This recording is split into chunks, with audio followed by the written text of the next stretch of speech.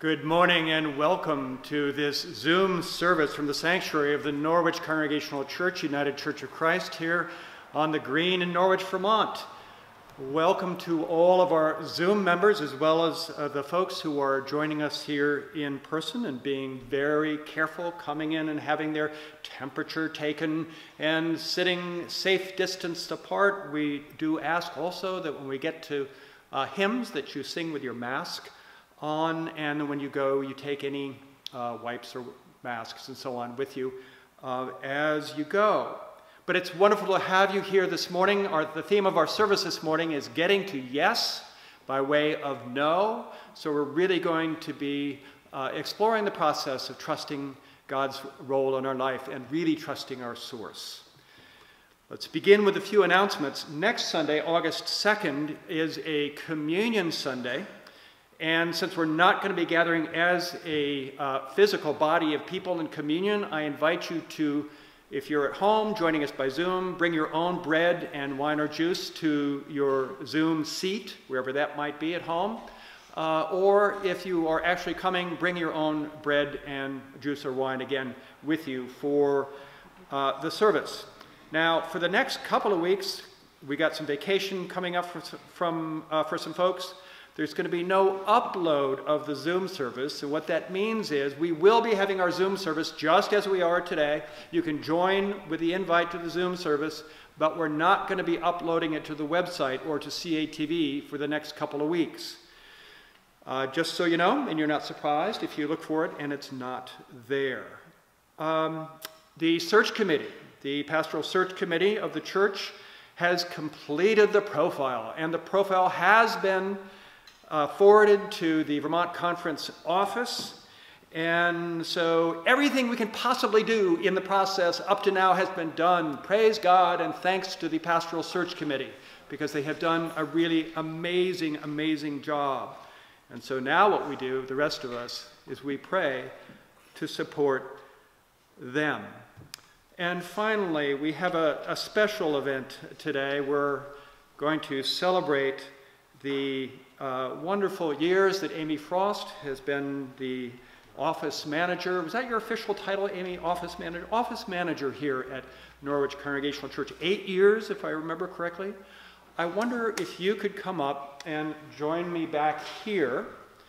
And I'll try to safe distance a bit here. I want to say uh, just a few words before Chipper Ashley comes up to, to give you a gift. Um, yeah, maybe I should put my, uh, I'll, I'll just back up a bit. That's what I'll do. So, Keep mine on. yeah. Uh, you know what? I can Yeah, keep it on. we got to follow the rules. All right. You know, uh, uh, Amy, in all my years of, of ministry, I've met many, many office managers uh, in a lot of different situations. Uh, and as a pastor, one of the things that I don't know that everybody really fully understands or acknowledges, but the office manager is the actual hub of communication in the church. And he or she is the one who makes sure that things are clear, timely, they get where they're supposed to go, uh, and that the whole process is seen as smooth as it possibly can be. And this requires not only competence, but it requires some wisdom about what's the right thing to do. And uh, in all of my years as a, as a pastor and consultant uh, going around from churches, from church to church, I've never seen a better office manager than Amy Frost. Um, and she has, you know, uh, your wisdom, thoughtfulness, um, ability to know what's yours to do and what's not yours to do, and to communicate clearly with people so that their gifts can arise is truly amazing. And so I want to say, it feels to me like you have blessed this church in these eight years uh, with a real ministry from your heart. And so I want to begin, just in my short time knowing you and getting to know you, to thank you for helping me transition into being the interim pastor and to get to know you a little bit and seeing how full your life is and the way that you have shared it in this church. So, Chipper, would you come forward? Yeah, why don't you come around there and I'll move a little bit. Um, The good news is I'm not the only person giving you a gift. Joan Warner will be here um, right after me. Um, I think what there's an expression, what do you give someone that has everything? The expression this morning is, what do you give someone that does everything? when Amy came to us, um, the office manager's position wasn't nearly as broad as it is now. During the time here, she stepped up to handle the financial half of things, which, as we all know, is really important. And she did a wonderful job with the communication part of the, the effort. The hub, I think, is a really um, accurate description of what you do. So we wanted to give you something that would nourish both yourself and your family and get you a chance to get you something to remember us by. And we've been told that you had um, some affinity for Simon Pearce. So this is from all of us to you, and thank you, and I would hug you, but I won't. And now Joan has, Thank you. Joan's gift is actually, Joan has a gift that I don't have. It was easy just to collect money and buy a card. Joan's doing, did the real hard work. Thank you, Amy. It's hard to, it's hard to find the words, but I have tried, and lots of other people have tried too. And here's what we think of you as you leave. We're sorry we didn't get to have, have a good farewell party for you, but God bless. Thank you for everything. Wonderful. Well, I have to unmask for just a second because you can't see how much I'm smiling underneath this.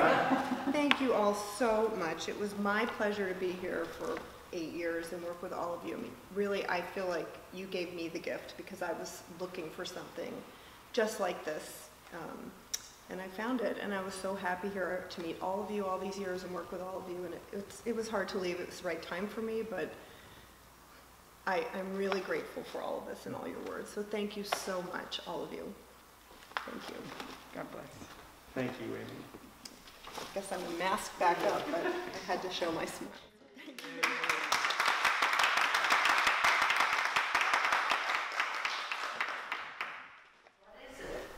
Oh, well, Yeah, absolutely. I could Thank tell you, it was a Priscilla. little bit of an album, Oh, that's beautiful. and I'm hoping it's, yes.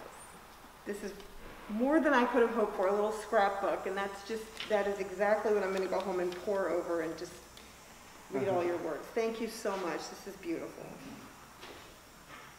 Thank you, Joan, this is like a real Yeah, labor, lovely. so thank you. Thank you, Joan, and everybody who And contributed everybody. to it. Yes, thank you, everyone. And now, Bob Miller, will you please come forward and lead us in the unison call to worship? Please join me in the unison call to worship. Holy One, you call us to find your kingdom already hidden in our world, in tiny, transforming moments, in the call to just action, in surrender to a wisdom greater than ourselves, in hard choices, and hard times, when it seems we choose among the least worst options, in actions taken out from love, though we may be afraid. Open our eyes now to what has always been there. Your love, your heart, your inspiration, your path, your yes to us. This we pray as we worship in Jesus' name. Amen. To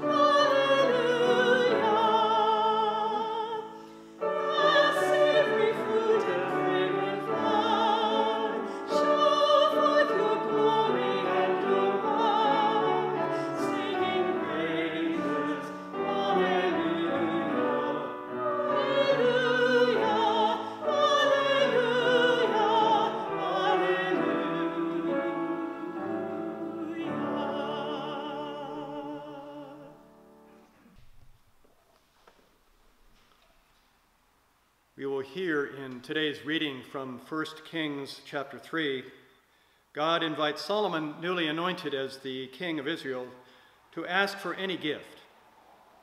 Solomon is quiet for a moment, then he asks for an understanding mind, a wise and discerning mind, to know good from evil and to lead God's people in wisdom.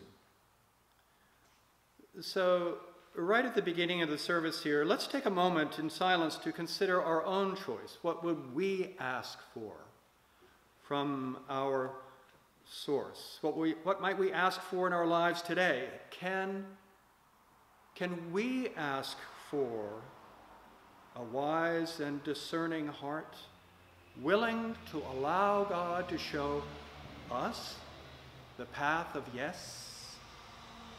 Let's take a moment in silence simply to be with the question.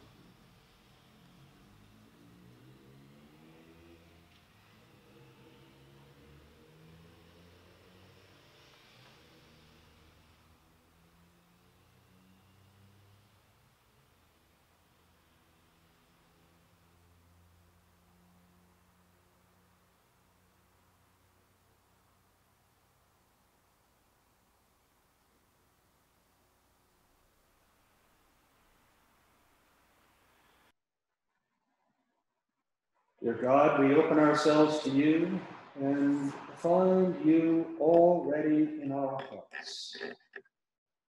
Through scripture, song, and prayer, help us to see that, yes you would have us follow. Amen.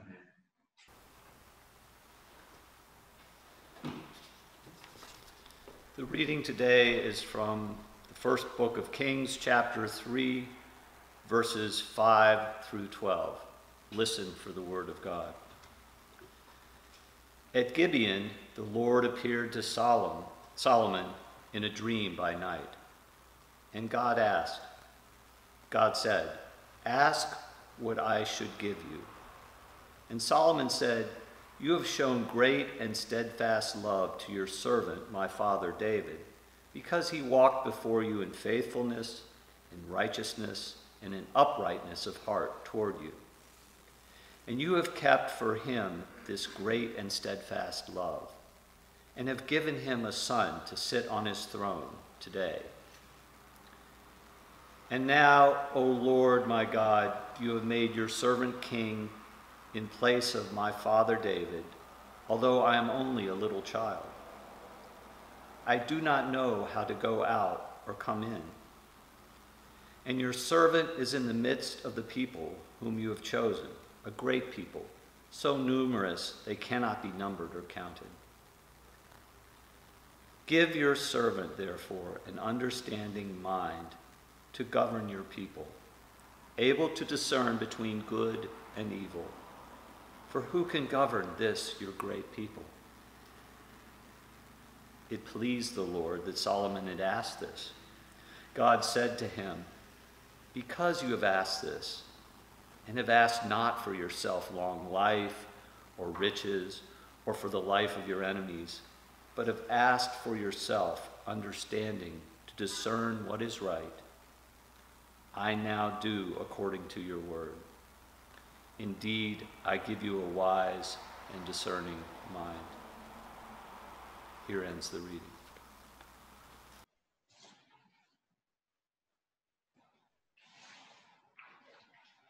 We commonly see the words yes and no as polar opposites. You have your yeses and you have your no's.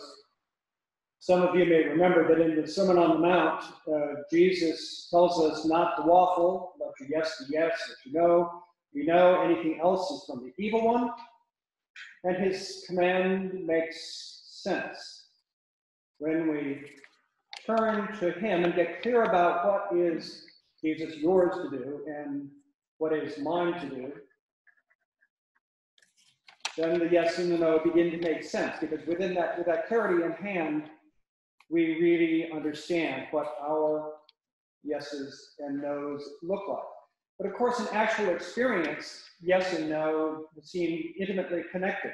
I don't know if any of you ever saw the movie called Yes Man with Jim Carrey. Do you ever, do you ever see that movie? Um, it's a goofball romantic uh, comedy uh, where the character played by uh, Jim Carrey retreats from the world in a blue funk over a uh, broken relationship. And so he has just one word for all potential risks, uh, connections, circumstances, commitments, happy thoughts, or adventures. No, no, no, no, no, and no. Much against his will, he uh, goes to a glitzy seminar uh, where he is told what he needs to do is say yes to absolutely everything. Not to say no, but to say yes to absolutely anything for six months. So he begins to say yes to everything. He says yes to skydiving, yes to guitar lessons, yes to helping out the homeless, yes to saving a suicidal jumper, yes to organizing a bridal shower for his ex fiancee, yes to studying the Korean language, and in his job as a bank officer, saying yes to every oddball uh, loan application that comes across his desk. Now, you know, this is a movie, so you get to have it um, how you want in a movie, and against all expectation and every ounce of common sense, his yes begins to turn his life upside down, all for the better. Until, until, until he comes up against a relationship with a woman that he really wants to say yes to, but he is deeply afraid. And so the barrier to a full on yes, yes to his own goofy humanity, to love, to risk, to commitment, is his own fear. And in the end, it takes a no to fear, to say yes, to love. It's a romantic comedy with a happy ending and hardly uh, what we tend to call real life.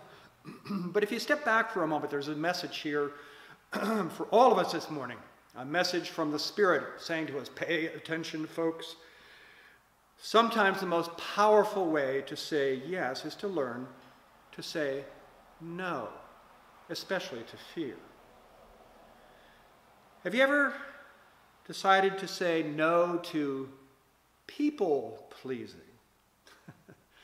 no to doing something you really didn't think was a yes for you, even though it might disappoint others.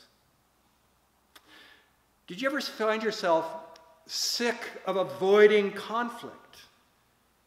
You find yourself starting to say no to going along for the sake of peace. If you've ever said a, strong no to your own fear, then you have begun to shake loose your yes and bring it into the world. Such a great example we have of saying no to fear. I don't know if you've seen in the news the images, the pictures of the uh, wall of moms in the streets in Portland, Oregon. It's amazing. I don't know if you've read about it, seen the pictures. It's such a visual. Oh my goodness. Unidentified military in full tactical gear and weaponry faced with moms in bike helmets, masks, and leaf blowers. leaf blowers to blow the tear gas back. When you're a mom, an organizer said, you have this primal urge to protect kids, and not just your kids, all kids. And she said the moment she stepped up was the moment she saw the video of George Floyd in Minneapolis dying under the knees of an officer, calling his last words, calling for his mother. So she said yes to stepping out, even though she was terrified, had no idea what to do, doubted hugely whether anyone would join her, and even though her daughter begged her not to do this, which caused a conversation between mom and daughter in which she said to her daughter, We talked about that. Sometimes you have to be brave and do the right thing, even when it feels scary. A teachable moment. Hmm. A wall of 200 moms in bike helmets and carrying leaf blowers up against a military surge. People pleasing? I don't think so. Mm-mm. Avoiding conflict? Hardly. Saying no to powerlessness? You better believe it. Yeah. So here's the thing The work of love, the work of God, the work of real power upends all of our inner preferences, and we all have them. The wish that we could kind of fly under the radar, fly low where our safe and safety and security we think lie, where we think because we think we know what power looks like and we're not it. Staying safe, though, actually says no to a whole world of transformation, courage, and utter astonishment at what God can do in our lives. So, why do we say no when we would like to say yes? And the basic reason is that we don't trust our source. Maybe we're trusting fear more than love. Maybe we're trusting ideas of our own making rather than living a life that is fully trusting of where we actually come from. But what happens is we make God to be some kind of security system rather than a launch pad. By contrast, what a beautiful thing Solomon does in the scripture text this morning, asking for an understanding mind. He has a God in his life whom he absolutely trusts. He actually trusts. He's the king, Solomon. He's the king. But he doesn't imagine he knows what's best. He doesn't imagine he knows how it's all going to turn out. Now, a wise and discerning mind, that's Bible language. What it comes down to is this Help me see, Holy One,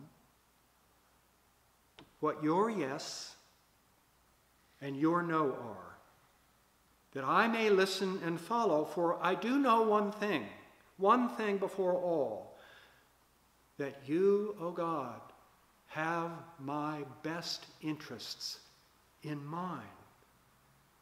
So may your yes be my yes, your no be my no, your life be my life. So it's the spirit of asking and readiness I'm arguing for today. Do you remember the spiritual wade in the water? Wonderful old spiritual. It's a song based on the gospel memory of the healing waters in a pool called Bethesda on the temple grounds in Jerusalem. And the tradition was that you had to stay right by the water, had to be right uh, ready to jump in, watching for God to stir up the healing waters. You know, wade in the water, wade in the water, children, wade in the water. God's gonna trouble the water. Look over yonder, God's gonna trouble the water, wade in the water. I know, I know, I can't sing, but I gotta say yes. I gotta say yes. I can't say no, even though. But the point is, we all have to climb in, even though it doesn't feel perfect. Wade in the water. Say no to the I think I know mind and let God stir up the plan that He has in mind. Ask like Solomon did. Ask like it, it matters more than anything else in the world, and then be ready, for God's going to shake loose your yes and bring it into the world. And to that, I say, Amen.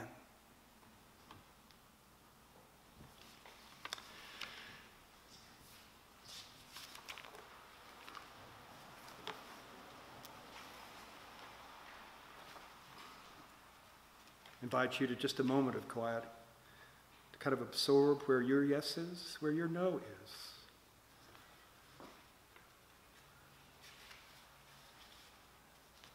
And just to ask God one more time may my yes be yours and my no be yours.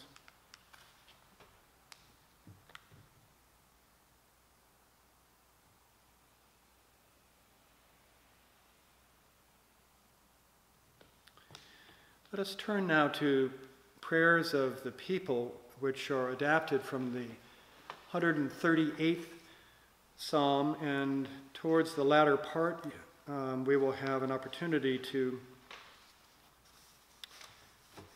name some people, um, since this service is going to be uploaded uh, to the uh, web. Um, we will just use first names, but anybody you wish to pray for, please feel free when we come to that point. And if you will join me responsively. I give you thanks, O Lord, with my whole heart, for your steadfast love and your faithfulness.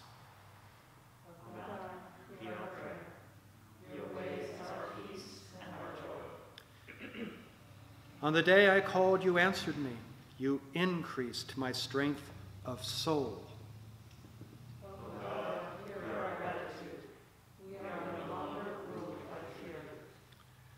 Though I walk in the midst of troubled times, you stretch out your hand and deliver me.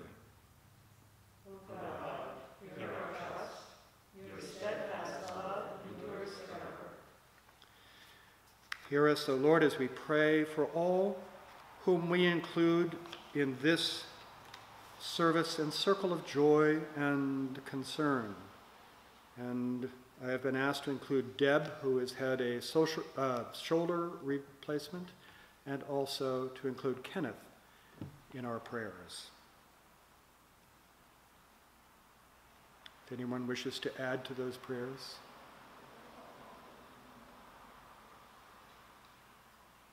Prayers for Susan as well.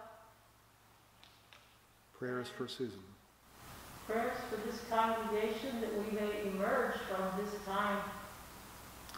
Prayers Who for knows how, but alive. alive, even though we don't know how, may this congregation emerge from this time. Did I hear you correctly? Can't mask that. Indeed, thank you. So let's conclude the prayer together. O God, hear our prayer. Do not forsake the work of your hands. Amen.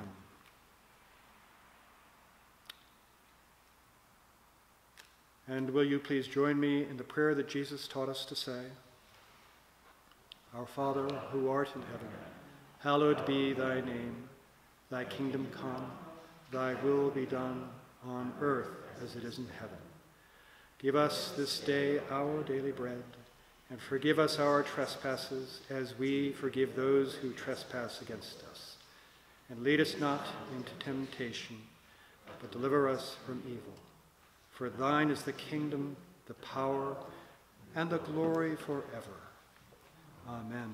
And Kathy, would you lead us in our closing hymn, My Hope is Built on Nothing Less?